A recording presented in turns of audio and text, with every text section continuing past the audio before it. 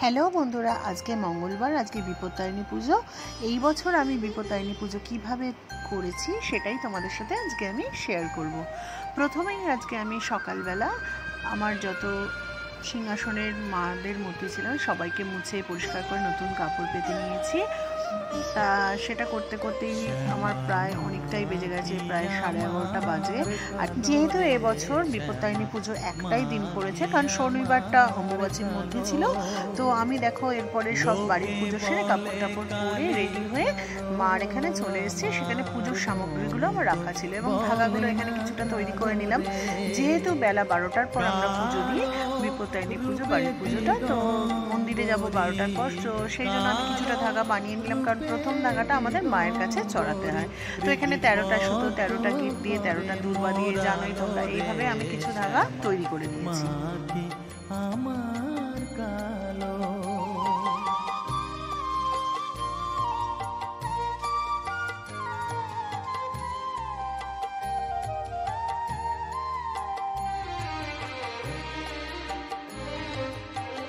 দুর্বাগুলো একা হাতে বেছে সমস্ত ধাগাগুলো তৈরি করতে অনেক সময় লাগে, তাই কিছু ধাগা আমাদের বানিয়ে নিয়ে বাকি দুর্বাগুলো এবং ধাগা সুতোর রিলটা আমি মায়ের পায়ে চড়িয়ে আনব এবং বাড়িতে বসে পরে সেগুলো করব পুজোর পরে।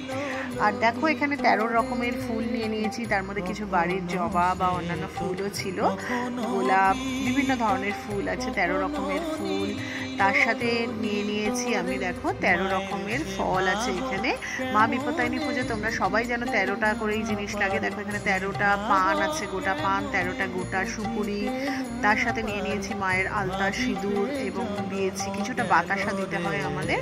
তো এখানে আমি গুড়ের বাতাসা নিয়ে নিয়েছি কিছুটা। তারপরে রয়েছে ধূপকাঠি, মোমবাতি, তার সাথে মায়ের একটা জবার মালা। তো এইগুলো আমি দেখো মোটামুটি রেডি করে নিয়েছি আমার পূজার ডালাটা আর মিষ্টিটা আমি নিয়ে নেব বাইরে থেকে। মিষ্টি দোকান সামনেই আছে।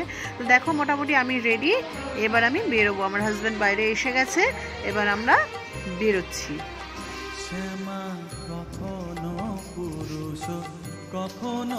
বাড়ি থেকে বেশ কিছুটা দূরে আমাদের মন্দির। দেখো আমরা বাইকে করে স্টার্ট দিয়ে দিয়েছি এবং মিনিট পাঁচ দশেক বাদে আমরা কিন্তু এসে পৌঁছেছি আমাদের মায়ের মন্দিরে। এই মা কিন্তু বেশ জাগ্রত এবং এখানে খুব সুন্দর করে পুজো হচ্ছিল দেখেই আমার মনটা বেশ ভরে উঠল।